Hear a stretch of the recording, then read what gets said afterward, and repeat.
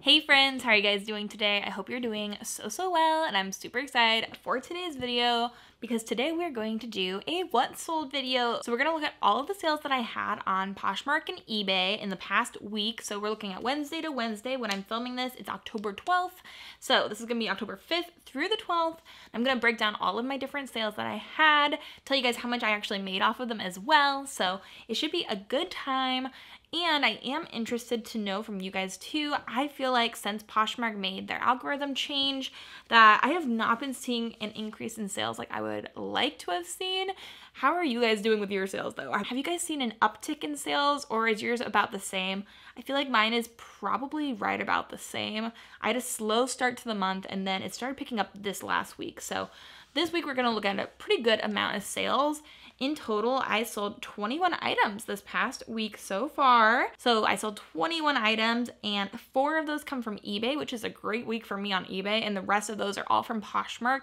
So we're to jump in. I'm to look at every single one. Some of them are small sales, some of them are really big sales. But if you guys like this sort of information of what's selling right now on Poshmark and all of this kind of like behind the scenes info on reselling, then make sure to give today's video a thumbs up and also hit that subscribe button because it really does encourage me a lot when I see those thumbs up also um, when I see that I gain some subscribers from these videos. So thank you guys so much, but let's jump into these sales. So the very first thing that sold in this week was this bundle. So I gave them a price. I have a bundle discount. So if anybody bundles any three items, I think in my closet, they automatically get either 20 or 30% off. So they bundled these three items and then they sent me an offer for $65. And I decided to accept even though that is a much lower price than what I have things listed at. This bundle is made up of this vintage embroidered sweater vest that I got in the bins, this pair of pink vintage shorts I got at a Goodwill, and this new pair of jeans that I just showed in a recent video that I got on a half off day at a Goodwill. So I think I probably had less than $10 into this bundle. I didn't spend very much on any of these pieces. And so when she offered $65, I decided to just take the sale because this was early on when I was really struggling to get any sales going. So that I will take. And so from the $65, we made $52. And since I only paid, I think like 250 for the jeans, a dollar for the sweater vest and maybe four dollars for the shorts. That's still a pretty good amount of net profit. So i'm still happy with that. And that just goes to show you too that especially if things are sitting around like those two vintage items were sitting for so long. In my mind i sold those jeans that i just listed the same day for $50 and then i just split the $15 between the other two pieces like in my mind sometimes that makes me feel better and I'm just moving older pieces, but also that was literally that pair of jeans that I picked it up. They were new tags from the brand Addicted and they had those really cute heart cutouts on the side. I had just listed those the same day. So I was happy that a new item could help move some older items. I will take that any day. Then next up, I have this Athleta Girl soft gray hooded sweatshirt. I think, I, I cannot recall if I got this in the bins or if I got this at Second Avenue. Either way, I sold it for $20. I'm leaning towards a bins pickup, and if it was in the bins, I would have paid a dollar or two for it. And then it sold for $20, so not a huge sale, but still pretty good. And then we made $14.28 from that sweatshirt. And I think I originally picked that up because I thought it was a woman's size, and it turned out to be like an extra large girl size. Um, but it still turned out to sell for over 20 bucks. So I'll still take that as a win. Then next up is this Anthropologie dress that I recently picked up at Second Avenue. So I picked this up for, I believe, like something like $5. It was not very much at all. And then it sold very quickly, probably within a week or two, for $36. From $36, we made $27.08. And I've actually sold quite a few long sleeve Anthropologie dresses recently. We're going to see another one here in a second. Um, so I feel like if you can find some nice Anthropologie kind of knit dresses right now, that might not be a bad pickup.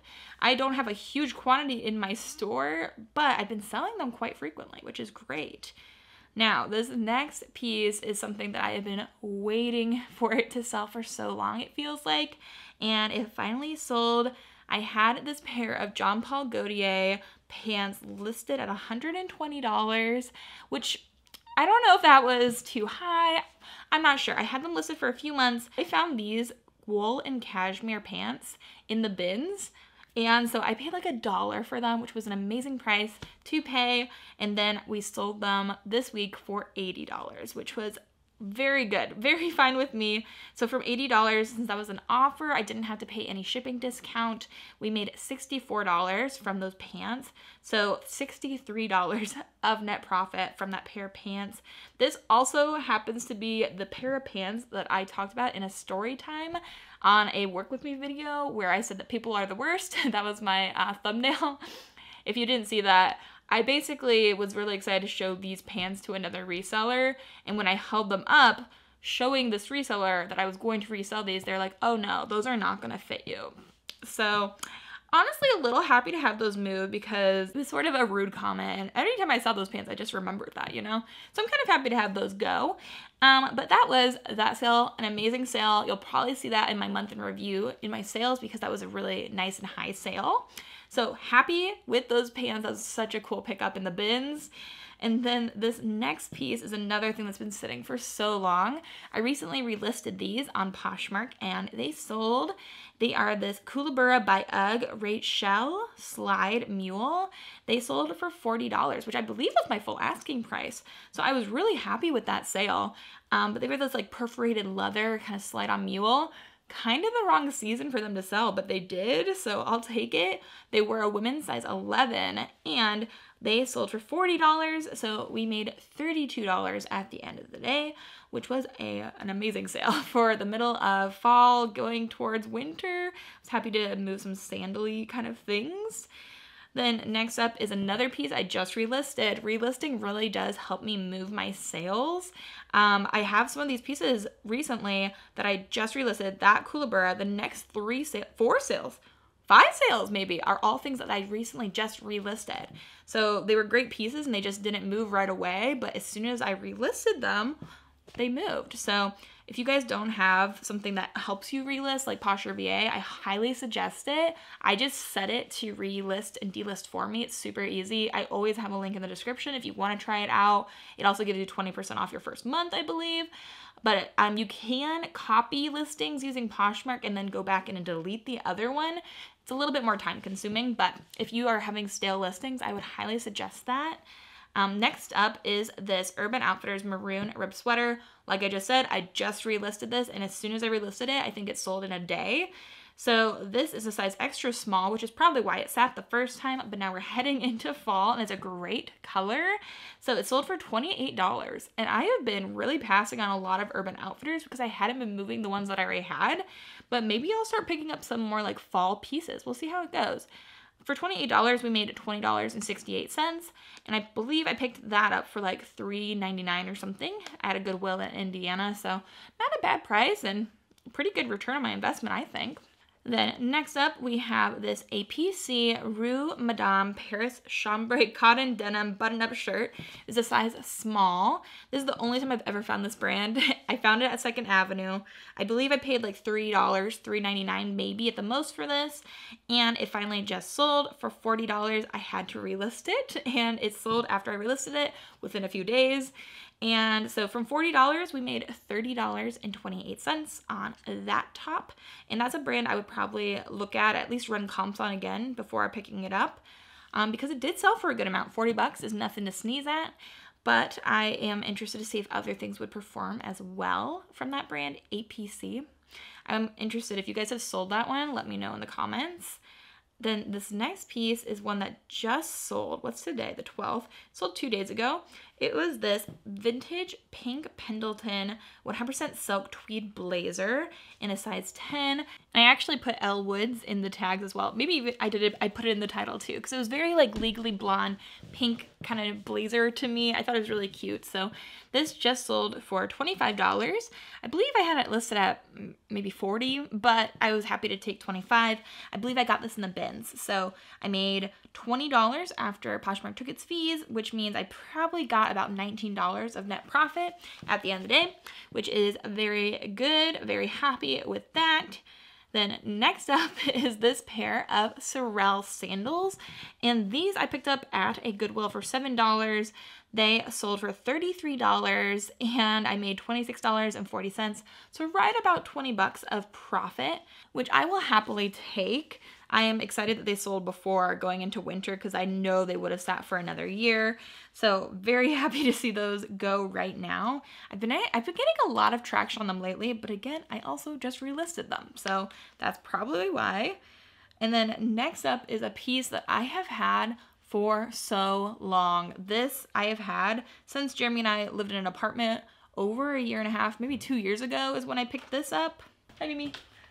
Odie! Sweet boy! Hi, baby! Hi, Odie! Are you happy? Hey. This was a piece that I picked up in the bins, and this was early on in my reselling career, so I was just happy to see this thing go. This is this asymmetrical Zara, like, peplum top, and all my pictures are flat lays. The whole thing is just, like, not my best work, but it sold for $18. So we're gonna take that and run with it. I made $14.40. I have had this thing stored for years, so making $13 on that, I would have given it away for less probably. Um, so I'll take that as a win. And so Odie's right out of camera shot. He's just like panting. They just got back from a walk. It's so cute. Uh, the next piece that sold was another Anthropologie long sleeve knit dress. It is this Anthropologie Moth Shaker Stitch Tunic Dress. So this is very interesting like stitching to it and it was nice and thick. It sold for $32 and so we made it $23.88. I think that got this in the bins if I'm not mistaken. So if I got in the bins then I made, you know, at least 20 bucks of net profit on that. So not a bad sale again. And then we sold this on Jeremy's Poshmark. It was this chaps shirt. I think this came from his personal collection. So he sold this for $11. and this is, I would never have picked this up to resell, but this, he actually listed before we got married. So we've had that listing in his closet for, I have to say, what, three years probably at this point. Anyways, it sold for $11. So we made like eight bucks maybe on that shirt. And then a very exciting sale happened. I recently showed this Alexander McQueen dress in a Come Thrift With Me. I was very excited to find it. And then I listed it, and within probably an hour or two, I had somebody buy it for $96. I listed it at $120. I was trying to move it quickly, and my Posher VA sent out an automatic, I think 20% off maybe. And so we sold it within an hour or two for $96, which means we made $75.08 for a very quick sale. I paid, I think, $10 for that dress. My average cost of goods that trip, though, was like $5. So $5 into a 96 sale is amazing. And then I picked up this Calvin Klein red textured wrap dress from 2nd Avenue on half off day. I think I paid like 2 or $3 per item that day and it sold for $24. So we made $17.48, about $15 of net profit. So I loved this dress. I picked it up based off of style and I really felt like it was a really cute, flirty, kind of just fun date dress. So I grabbed that and that one moved pretty fast too. I think I've only had that listed for about two weeks, maybe at the max. And then my last Poshmark sale before we hop into the eBay sales was this pair of mother jeans. The only mother jeans I've ever found. I got these at 2nd Avenue for $6.99, I want to say. So for $7 and they sold for $64 today, which means we made $49.48. And I've already back I've already packaged everything up. Oh, you can kind of see it in the corner. I have all my packages sitting over there. So some of these things I sent out because this is a full week of sales, but I do have quite a few things I'm sending out today from those things I just shared with you. Oh, I need to send out my eBay sale too. We'll get into that in a second. But now let's hop on over to my eBay sales. And then at the very end, I'm going to show you guys exactly how much I sold and exactly how much I made. So that will be exciting. So we have one, two, three, four sales on eBay. The first thing is a piece that sparked a renewed um, sense of, oh gosh, I'm doing eBay wrong in me. It is this Peruvian Connection Turkish Pimicon floral dress in a size large I had this listed at $70 and then somehow with Vendoo, I had put in allow best offers, but like automatically accept offers over a certain amount. That's my only gripe with Vendoo is like, I don't want to have to accept offers over a certain amount. That is not great because sometimes I get a lot of scams where they offer the exact same amount as what I have it listed at, and then it just becomes a whole issue of me having to relist everything. So I think it automatically accepted an offer for $40 and I would not have accepted a $40 offer on a Peruvian connection dress like that.